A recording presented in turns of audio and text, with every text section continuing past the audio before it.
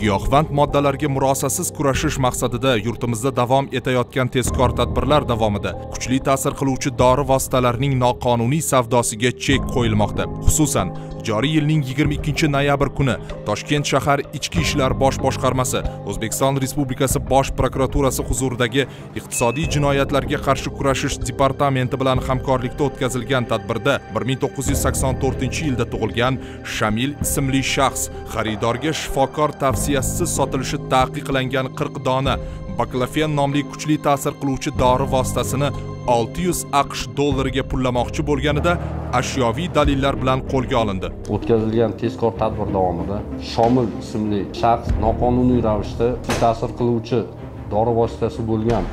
Baklafen nomli dori vositalari noqonuniy ravishda 40 donasini 600 aqsh dollar evaziga sotayotgan vaqtida ashyoviy dalillar bilan xolislar ishtirokida qo'lga olindi.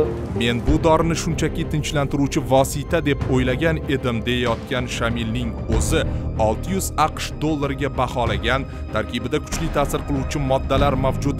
Baklafen dori vositasini juda arzon narxga sotib olganini ham aytib o'tmoqda. Bir yuz o'ttiz ming deydi chilonzor aptekada uni oldim tinchlantiruvchida siz baklafenni donasini necha so'mdan olgansiz aptekada yigirma olti mingdan olganmanda o'ntasini. Ikki dollarlardan manga o'xshagan odamlarga ishonmanglar.